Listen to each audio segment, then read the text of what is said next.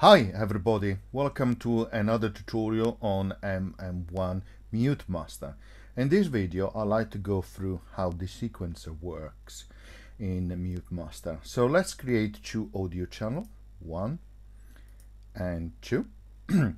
let's select a file player for both audio channels and uh, let's select um, a song that um, uh, for each of the file player. So let's click on this button to browse our side. Here we have for my composition done in Korg Gadget. Let's choose Fantasy.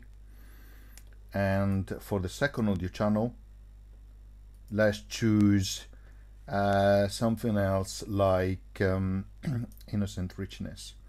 Okay, then let's click on the audio effects and let's scroll down type mm to search for MuteMaster. Here we go.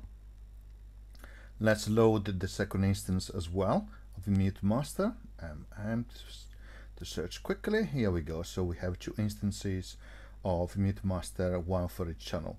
So let's configure the basic. So let's make sure on the, on the first audio channel the channel selected is one. Let's also add some fading that will help and also on the second channel. Uh, let's ensure that the channel 2 is selected. It is and also let's add some phasing uh, some fading like that. So let's go back to the first instance. Double click on the window and header to maximize it. So as always let's configure a little bit the pattern. Let's have two pattern. The first one which is already selected will activate the channel number one.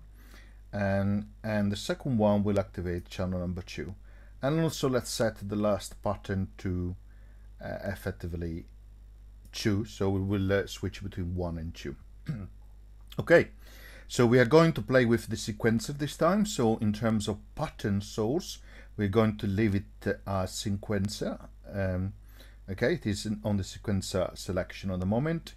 And um, let's also configure the uh, sequencer division in terms of, of uh, how quickly it will move between the different steps. Here at the bottom you find the triggers that will, um, or the trigger source for the sequencer, which I will show you explain in a moment. The speed that it moves from one step to the other is dictated by the sequencer division here. So the uh, the more you move to the right and the faster it will go and the more you move to the left of course you have a um, bigger division and therefore it will move slower. So now when I click play you will see a green dot which will move between the different steps here, the different trigger for the sequencer. Okay, let's uh, um, uh, let's click play and see how it works.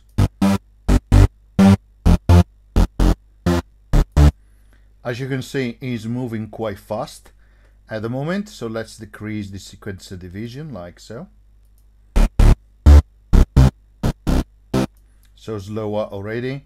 So let's leave it to yeah half. That would be fine. At the moment it's playing um, um, button active button 2 let's put it on button number 1 and let's click um, uh, to rewind and let's click play again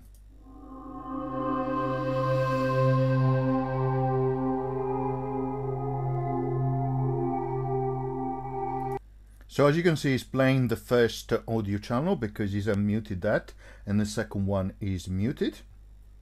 And it will stay like so because I have not selected at the bottom here any trigger. So just to explain how it works, let's say that I click on the number one trigger and also number five. This means that as he moves from one trigger to the other or, or, from one step to the other, when he encounters a selected trigger or step, then he will swap the active pattern and therefore unmute and unmute accordingly the audio channel. So let's try.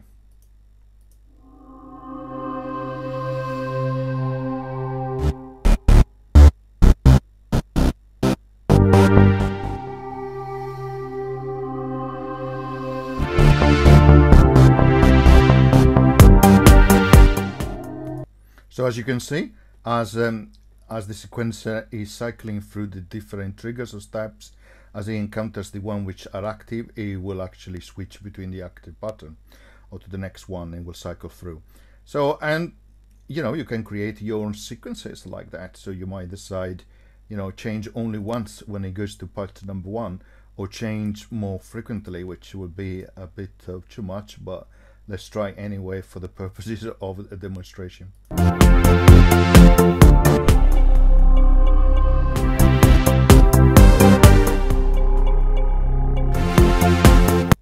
And of course you can select um, the um, sequence division as I mentioned to make it faster or slower depending on the division you want to play with. So as you can see it's pretty straightforward um, to use this sequencer inside MuteMaster. Hope you found this useful and as always see you next time. Bye!